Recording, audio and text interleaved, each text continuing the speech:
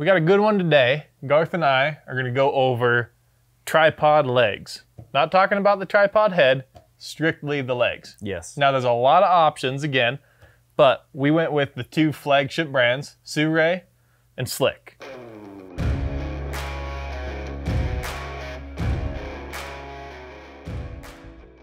When I started out, the barrier of entry was like, well, I can't afford a carbon Yeah. fiber tripod. They're too expensive. I'm paying enough for this aluminum tripod. Right.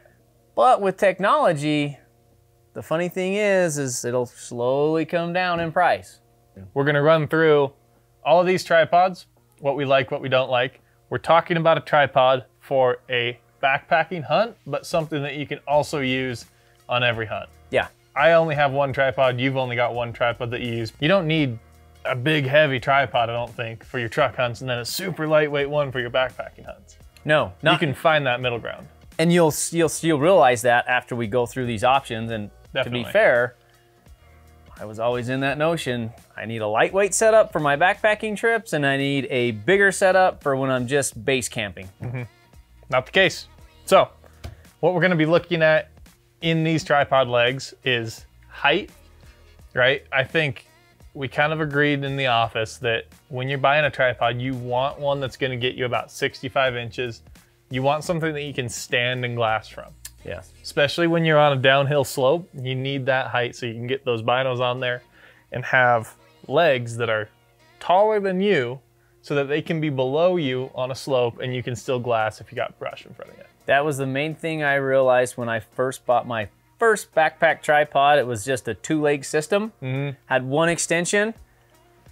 I tested it out on flat ground and I'm like, oh, yeah, I can sit up all day long in glass with this thing.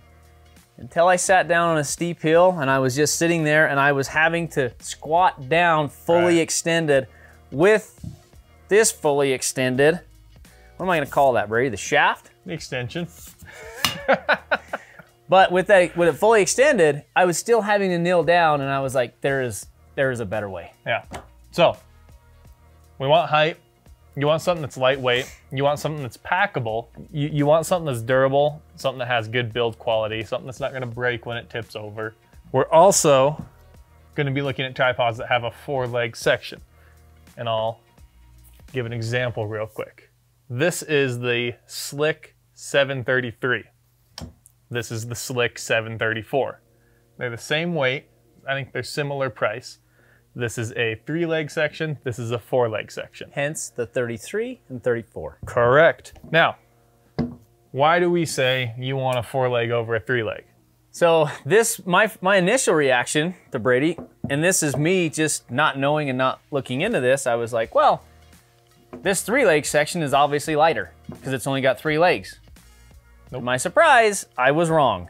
These are the exact same weight. So, in my opinion, I mean, just that was the only reason I would have went with that three leg section because obviously this compacts down Right.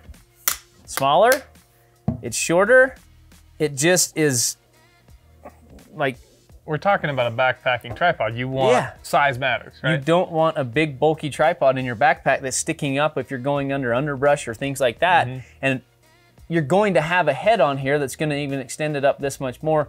It's just going to catch, you have the ability to catch on more stuff. It's just harder to get around. The biggest argument, in my opinion, for a three leg over a four leg is setup time. You're doing two twists instead of three. And that's why I purchased this tripod. This is the one I used to use. Mm-hmm. That's why I bought this tripod, because as a camera guy, I need to set up right away. Now, I found that I didn't like the height. With the tripod head on there, I needed something that was a little bit lower, Yeah. something that fit in my backpack better, something that wasn't gonna grab on the brush. So, Now, let me ask you a quick question, just What's because? I am curious about it. With there being an additional, like, what I would say, link in here, Mm-hmm. does that make any difference in the rigidity? I think it does. Actually, here, let's look at that real quick. So, I don't know how I'm going to put this out there. Well, just- Yes, just like just- this. So, hold it up here. Now let me push on.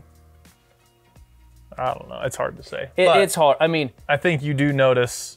there is. I mean, I at least from my opinion, there is a little more flex in this Sure. four leg system than that three leg system. I think it'd be impossible to say there's not just because you have more components. I will say that based off the fact, um, based off the fact that I am running a spotting scope and not something super heavy, and also as we demonstrate in this video, like the importance of having Counterweight, counterweight on yeah. there to you know alleviate some of that flex. I don't think that's an issue. I think you're I right. think you're getting way more benefit from having the more compact tripod. And that leads me into a little bit of a rant. Before we did this video, I went and did a lot of research. I looked at a lot of videos on YouTube. I saw hardly any that talked about the importance of the hook at the bottom of your extender column. In fact, Blows me away. you would see some you would see some reviews that say Not gonna Yeah. say the name. I don't know why these hooks are even on here. I just take mine off, and I'm like, They're literally, yeah. Guy was like, I just take it off to it save weight. saves weight. I'm thinking to myself, that saved you maybe a half an ounce at the most, maybe. yeah. And and what that can save you What that does for you. in in like just that being able to put counterweight on there. But see, on that same video, they talked about stability of a tripod. They go and they say, you know what's really important in a tripod is stability.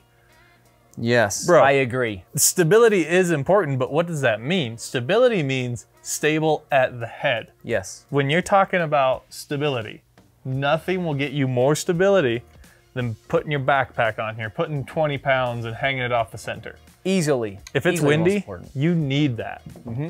What- What's funny is the the I remember watching a video. I think it was an old video that Ryan Hatch did back in the day when he was glassing with Big Eyes, mm-hmm. and he said, "These this is the tripod I use for Big Eyes." He pulled out a surveyor's tripod, basically, shoot, shoot, shoot, Yeah. And said, "This is the most stable." Well, he wasn't wrong. Right. That is the most stable. You want to know why? Because that tripod probably weighs 50 pounds when you pull it out and you set it out. So the weight of that holding that stability in place, that's what's making it. And what you're gaining from that hook is you're adding that extra weight to stabilize the Right. tripod so it's stable right here. So, that being said, let's jump into these four models of tripod and we'll talk about what we thought after using them. You want to start out with the Slik 734? Tell me what you thought. Yes, and one, one thing I will say about the Slik in general, um, and this is just all of the Slik tripods, they have kind of a dual system right here for the, for the collar, which is kind of nice. So basically, you have this twist lock right here, and you have a twist lock right here to allow that, you know, to extend and go back down. Now, you'll notice that that does extend up past this collar right here. Right. But what is nice about this is you can take, secure this down and secure this down, and it gives you added stability, in my opinion, because It it's is. not It moving is. as much as, say, this one, where you can see, I mean, once you cinch it down, it's good, but you can see there's still a little bit of movement right there at the top. Right. This one specifically, it has the thicker tripod legs, which allows it to be more sturdy when it's at full, when it's at, what do you say, full extension. Yeah. So it is nice as far as that goes. This is super easy to adjust. You just pull it out, pull it up. I mean, the Slide smooth. slide It's smooth. aluminum on this this upper shaft. It is, which does add a little bit of weight comparatively speaking to these carbon fibers. The one nice thing about these that I'm sure there's a fair amount of people realize this, you can take and unscrew the bottom half of this. right. So if you did want to get down, you're in the field and you wanted to, you know, take this thing and lay it down all the way, that is one thing. And if you had to shoot off of that in a prone position, Right. you could do And I believe like that.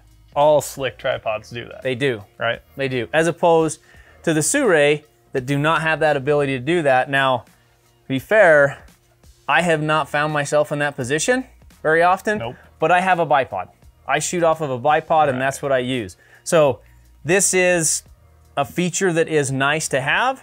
Um, the, the one thing I don't like about it as compared to some of these, they do not have auto locks. So The legs. Yep. you have to push those in in order to get them to lock.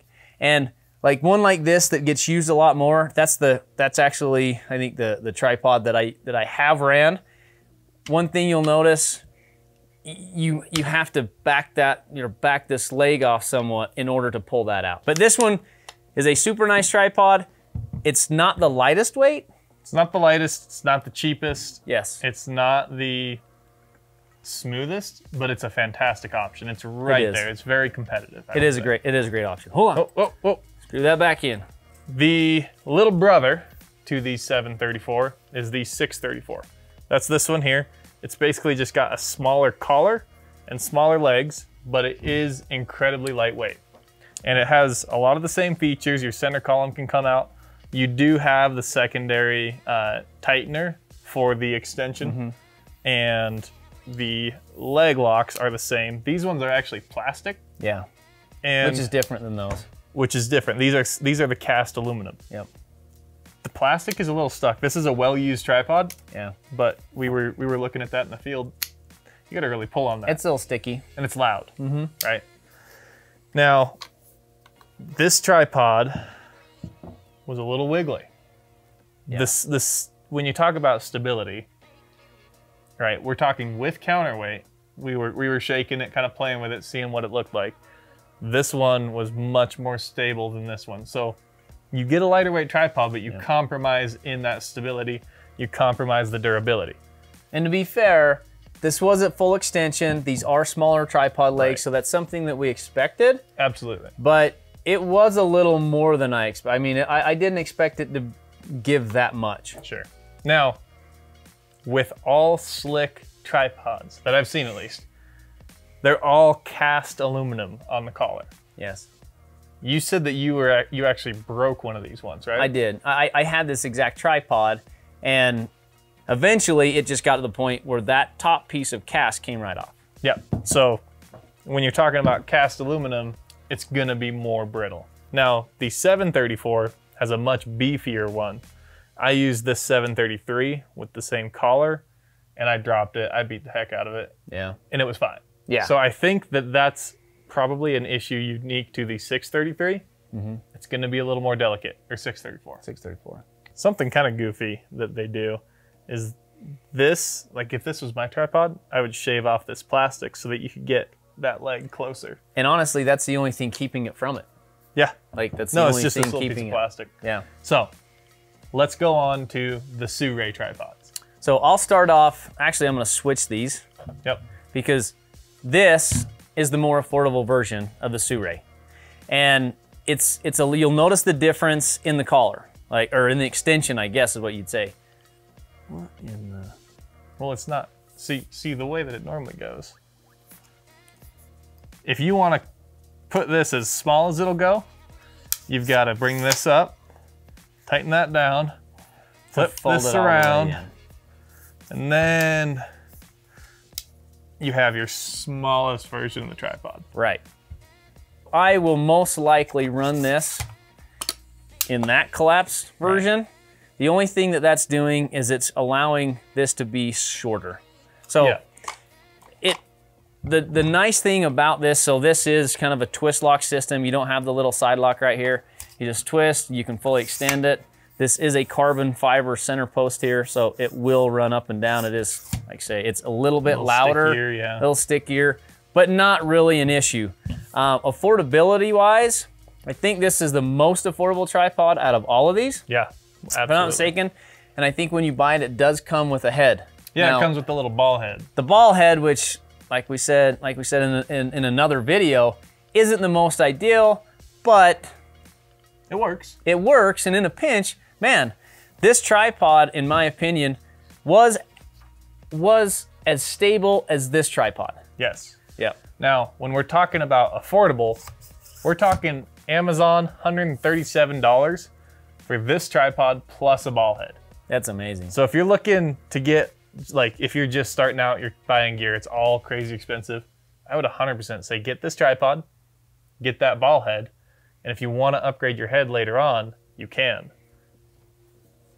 This That's Cadillac. is a better option. They just came out with this tripod a couple months ago, I think. I just purchased it to run as my primary tripod with all my camera equipment. It is waterproof, so they say. I think, you know, they just got some rubber gaskets on the leg now, My favorite part about this tripod is the size. Look at how compact it is. The reason for that is this triangular center post, right? Yeah. Other tripods, they got a circular center post. When you put four circles together, you're gonna be less efficient. And then they have that dang collar. The plastic, right? Plastic collar on there. Yeah. This one, it folds in nicely because each leg goes into its little pocket on the triangle. Yep. You've got no wasted space. Yeah, there's no air in between. When you compare that to the pack size of this one, it's, it doesn't seem that different, but Yeah. when you're trying to put that into your backpack, it Yep. matters, Oh, it's huge. right? Huge. And this tripod comes in at around 220 bucks, Mm-hmm. 230, I think. So it's still not a crazy expensive option. It's got decent leg locks, right? It's it's noisy, and that's probably my biggest complaint. Yep. It is a little noisy. But once you click it into place, it'll drop itself down, Yep. which I like. Yep. The thing that I dislike about this tripod, It's sticky. the center It, it column was the most sticky. is sticky, and you got to tighten that down pretty good to make sure that there's no play here. And there's still a little play because mm-hmm. look at this. You're you've only got about an inch yeah. to clamp this foot and a half pole versus the Slik versus the older version of the Sure.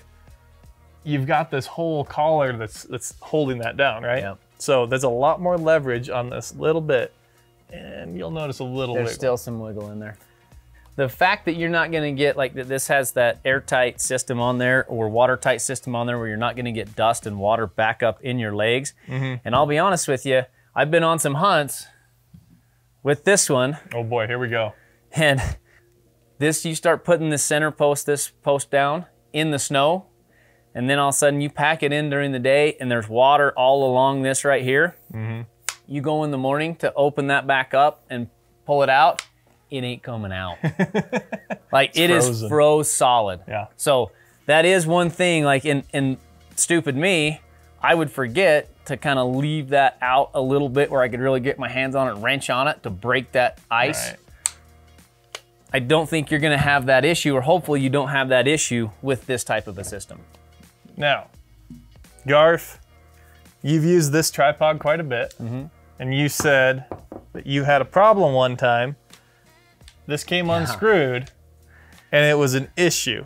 And all of the Slik tripods have what I would consider a slightly overcomplicated system. Yeah. It's the same. To try to put So, the leg back in. Pull this one off here. yeah. It's the same system, right? You've got the same basic components, but the way that the Slik tripods do it, Oh, see that? it just fell out. So, you've got your coupler, right? On, on all these Yep. tripods, you've got your coupler that screws in to this guy. These pieces here are little plastic uh, runners, I guess. Yeah, little spacers. Yeah, like that, yeah. they keep they keep this leg from twisting, and they also keep a smooth motion. Yep. Now, Slik, it's gonna be hard to see, but the Slik tripods use two separate ones that you have to stick in their little hole and then get them just right to put it back in. So you had this fall apart in the field. I, yeah, and to be fair, I mean, the bad thing is, is I really was like, I don't know if I was sleep deprived, like I, I was not in my right mind. I think you were just cranky, buddy. It, it could be cranky, but you really have to like twist that the wrong way for an extended period of time to have it come out. Right. I was trying to pack up, I was trying to get all my stuff together and go home, and I was like, I just gotta get that thing. Anyway, pulled that out, and I was like, I don't, I didn't even know these two little pieces right there were even a part of that. I was like, where does that go? How? Luckily, it fell in my lap so I could see it all. Right. But literally all it takes to make that an easier system is you put you connect those two pieces. So the Sirui tripods have capped, right? So you just stick it on and then you're good to go. Yeah. Versus the Slik when you need to put it back together, you gotta kind of get that one in. Hold on, ready? This see. one Let, in. let, us see. Oh no, I forgot that other little piece. Was but- this was this a race? well? Because I won. Ooh, I got it right this time. Basically, I would say if you want a sturdy all-around tripod, I'd go with this guy. If you want a budget tripod, go with that guy. If you want a lightweight tripod, check out the Slik 634. However, this one's like six ounces heavier. Yeah. And in terms of pack size, you're pretty similar. Yeah. You're pretty so close. you're looking at something that's going to be more durable and it's going to be more stable. So I don't know, man. What was the pricing difference on this one versus that one? Let's see. That one was 230, I believe. Yeah. This is a $200 tripod. This is a $224 tripod from Amazon prices, you know, what you're actually going to get. So about the same. 20 bucks more. If if you're the kind of guy that cuts your toothbrush in half to shave some weight, maybe go with that you're going one. to want this one. If you're not that guy and you're looking for, you know, and you have, I mean, like I say, the budget is same, Right. pretty similar. So if you're not that guy and you're looking for more rigidity or more more stability in your tripod, Definitely that one. That's the and one. durability in general, like you were saying, there's a chance that these legs can break. correct. So, I've never had a problem with my Sirui with this system. yep. I think overall, that's the tripod that we could say is a winner. Yeah. Overall functionality, weight, compactability, I mean everything. This one was the winner. Budget wise, I would say this one's the winner. Yeah, absolutely. And if you want to look at different heads, because the head that you put on your tripod matters too. You get the most lightweight tripod. If you don't have a good head on there, it doesn't do you any good. Makes so, difference. if you want to learn more about tripod heads, you can check out that video on our YouTube channel.